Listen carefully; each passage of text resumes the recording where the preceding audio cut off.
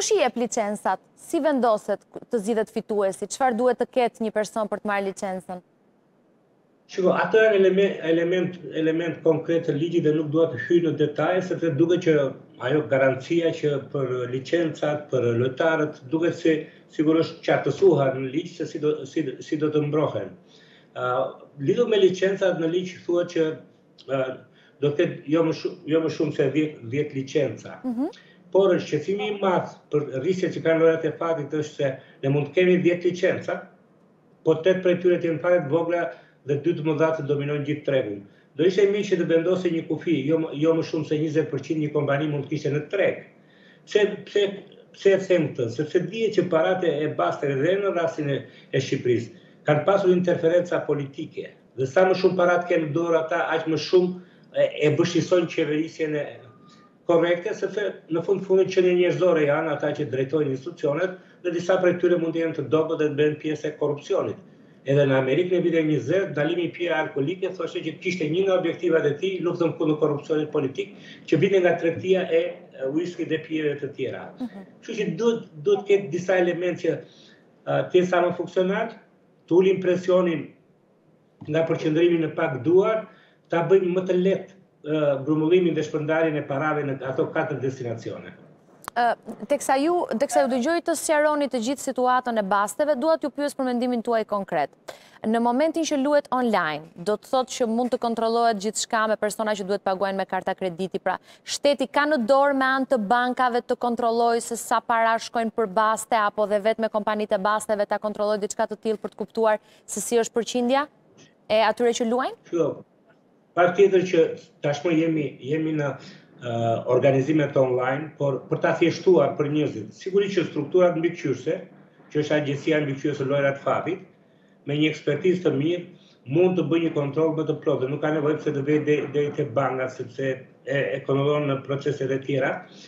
Por a është e lehtë? Është njësoj lëvizja në mënyrë online është njësoj si një autostradë ku kalojnë makina dhe janë ato drita që numërojnë çdo makinë.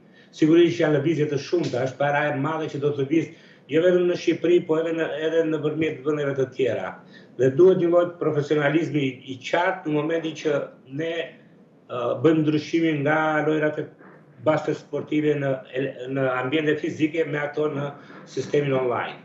Një detaj tjetër që do doja t'ju pyesja ka të bëjë me aq sa e njihni ju politikën, ekonominë dhe mënyrën se si ka funksionuar shteti shqiptar. Cili ka qenë momenti kur është kontrolluar ndonjëherë më mirë ky sektor, bastet?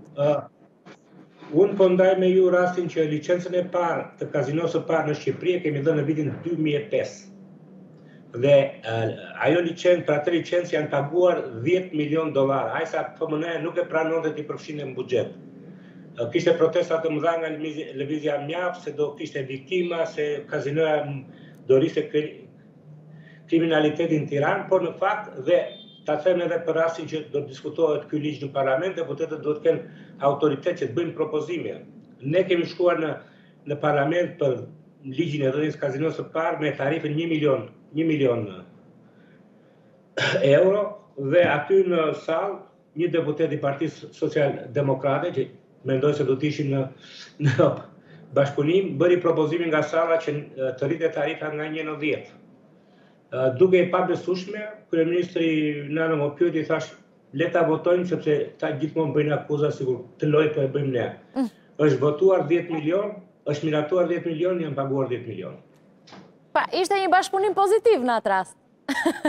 Patjetër, patjetër. Pavarësisht të... Por deputetët të kenë kurajo, deputetët duhet të kenë kurajo të propozojnë. Për shembull në qoftë se themi që të dhënat, të dhënat financiare, të ardhurat financiare të jenë të, të trashëgueshme. Në qoftë se nuk është në draftin e qeverisë, duhet ta propozojnë deputetët. Dhe nuk është ndonjë hata e madhe se do mbajmë disa para jashtë jashtë sistemit të buxhetit të trashëgueshme nga njëri vit në tjetrin, aq më tepër që po bëhet për diçka që është thelbësore, është kultura, është sporti. Sot si jemi me kontrollin e kazinove në Shqipëri? Urdhëro? Sot si jemi me kontrollin e kazinove në Shqipëri? Nuk, nuk, nuk kam ndonjë informacion, nuk e kam ndjekur nga afër, por fakti që janë licensuar, edhe bëhet debat se sa kazino duhet të ketë në mhm. Shqipëri, unë jam në idenë që më mirë të liberalizohen dhe biznesi të marrë risk. Do ta hapin, qoftë se s'u ecën, do ta mbyllin. Por, numri i Për shembull, për licencën e parë, një nga shtysat kryesore që ne kishim, ishte se Shqipëria tenton të thithë turistë dhe nuk ishte asnjë kazino, as në kryeqytetin e saj, gjë që nuk ndodh në asnjë vend. Tani janë përhapur disa në qytete të tjera dhe në Tiranë, le të përballen me sfidat e tregut, mjafton që mbikëqyrja financiare të jetë e plotë, profesionale dhe me integritet.